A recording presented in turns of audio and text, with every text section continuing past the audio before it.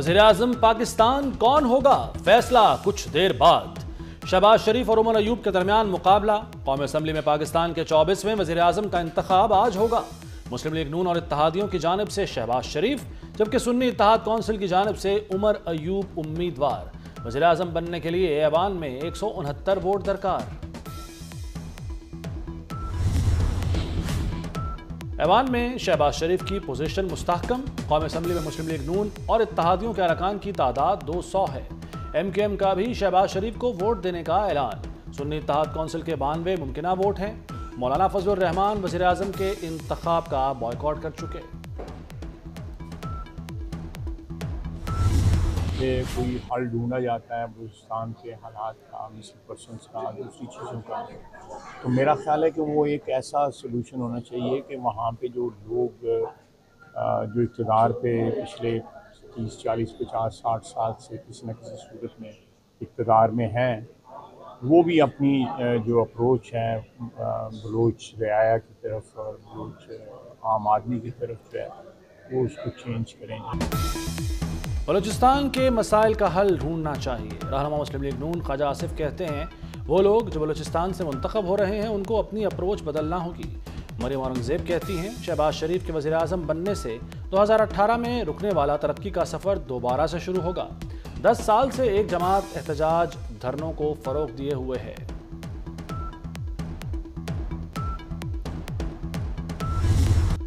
मुल्क में शदीद बारिशों के एक और स्पेल की वार्निंग मुख्तलिफ़ शहरों में पाँच से सात मार्च तक बारिशों का इम्कान। खैबर पख्तूनख्वा, कश्मीर, गिलगित, बल्तिस्तान और पंजाब के बाला इलाकों में बादल बरसने की तो मलिका कोहसार मरी में दो रोज से बारिश और बर्फबारी का सिलसिला जारी। पहाड़ों ने भी सफ़ेद चादर ओढ़ ली। चिलास में बर्फबारी के बाद रबता सड़कें बंद। लैंड स्लाइडिंग के बायस शाहरा कराक्रम दूसरे रोज़ भी हर किस्म की ट्रैफ़िक के लिए बंद। मकामी आबादी का मरकजी शहर से ज़मीनी रबता मुनक़ा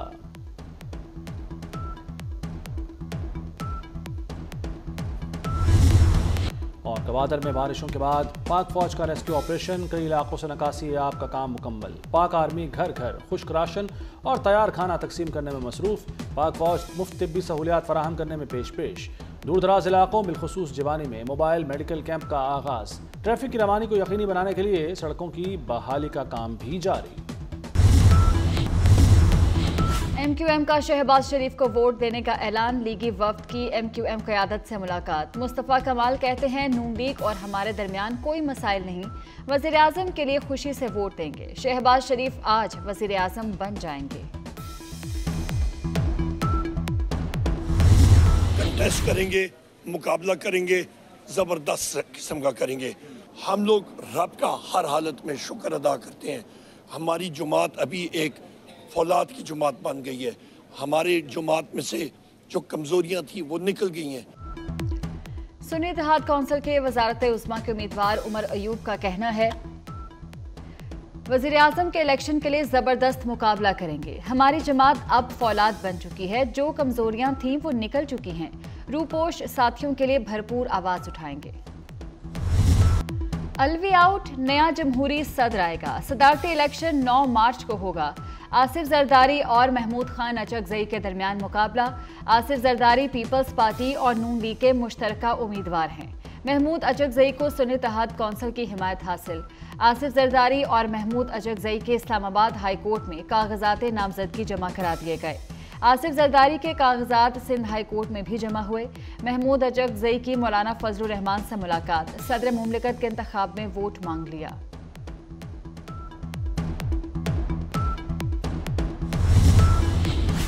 पीटीआई अपने सख्त मुखालफिन को गले लगाने लगी। मौलाना के बाद महमूद अजगजई से भी पींगे बढ़ा ली।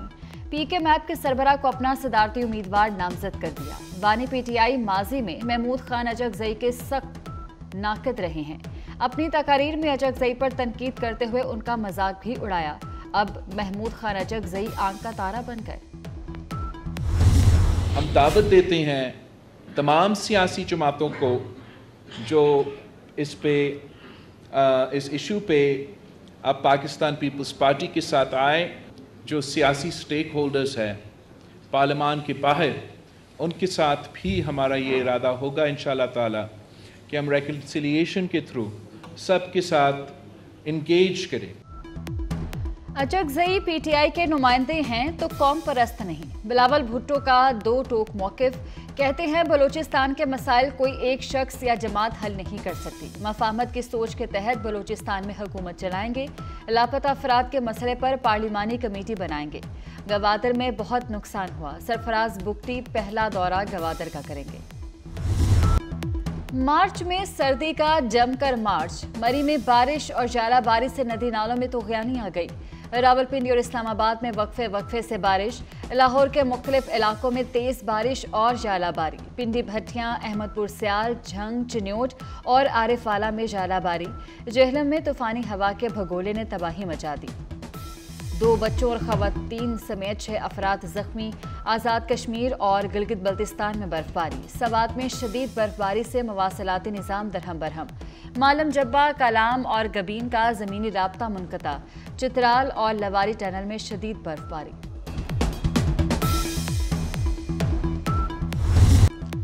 गवादर में ज़िंदगी मामूल पर न आ सकी। बारिशों के बाद अब तक पानी जमा। पहाड़ों पर पनाह लिए लोग इमदाद के मंतजर हैं। देही इलाकों में इमदादी टीमें नहीं पहुँच सकी। गवादर में फ़्लाइट ऑपरेशन भी मअतल बलोचिस्तान के बलाई इलाकों में सर्दी की शिद्दत में इजाफा। कई अजला में कल से बर्फबारी जारी। कराची में बारिश के बाद सर्द हवाएँ माहरीन के मुताबिक कराची में बारिश का इम्कान नहीं, सर्दी की हालिया लहर गैर मामूली है। दर्जा हरारत 9 से 11 डिग्री सेंटीग्रेड हो सकता है। मार्च 1986 में पारा 7 डिग्री तक गिर गया था। इलेक्शन में मुबैना धांधले पर पीटीआई का एहतजाज, लाहौर में जीपीओ चौक और शाहदरा में मुजाहरा। पुलिस का पीटीआई रहनुमाओं को मुंतशिर करने के लिए लाठीचार्ज। शहजाद फारूक समेत मुतद कारकुन गिरफ़्तार कर लिए गए। रावलपिंडी और इस्लामाबाद में भी पीटीआई का मुजाहरा और रैली। कराची प्रेस क्लब के बाहर भी एहतजाज।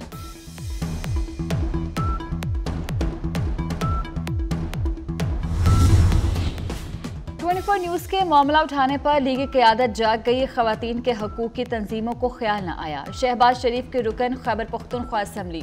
सोबिया शाहिद से मुलाकात। के पी असम्बली में बद तहजीबी की मजम्मत। कहते हैं खातन के एहतराम के मुनाफी रवैया रखने वालों के खिलाफ कार्रवाई होनी चाहिए।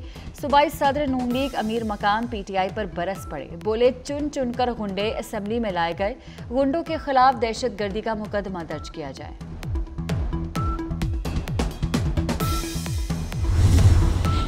लाहौर के इलाके इचरा में खातून को हिरासा करने का केस, पुलिस ने मुतद अफराद के खिलाफ मुकदमा दर्ज कर लिया। एफ़ आई आर की कॉपी आला अफसर के हुक्म पर seal. S H O Ichhra Bilal मदई बने। पाँच नामजद और मुतद नामालूम अफराज शामिल। A S P Shahrbano Naqvi ने खातून को हजूम से बचाया था। वज़ीर अला बलोचिस्तान सरफराज बुगटी ने हलफ उठा लिया। हलफ बरदारी तकरीब में बिलावल भुट्टो की शिरकत। वज़ीर अला बनने के बाद सरफराज बुगटी का पहला खिताब। गवर्नेंस दहशत गर्दी और मौसमियाती तब्दीली बड़े चैलेंज करार दिए। कहा, शहरियों की जानों का तहफ़ करेंगे, सबसे बात करने को तैयार हैं। शरपसंदों के खिलाफ रियासती रेट कायम करेंगे। वज़ीर अला खैबर पख्तूनख्वा अलीमीन गंडापुर ने हल्फ उठा लिया। कारकुनान की धक्कम पेल गुंजाइश से ज़्यादा मेहमान आ गए। रहनुमाओं के बैठने के लिए सीटें कम पड़ गईं। अली अमीन गंडापुर ने वज़ीर अला ऑफ़िस का चार्ज संभाल लिया गार्ड ऑफ़ ऑनर पेश किया गया। हेल्थ सिस्टम में मरहलावार असलाहत की मंजूरी, हस्पतालों में डॉक्टर्स और अद्वियात यकीनी बनाने का हुक्म। वज़ीर अला मरीम नवाज़ के जेर सदारत तीन घंटे तवील इजलास। हेल्थ सिस्टम की तश्ील नौ। महकमा सेहत की अपग्रेडेशन के पाँच साल प्लान पर बात हुई। बी एच यू और आर एच सी की अपग्रेडेशन का जायजा लिया।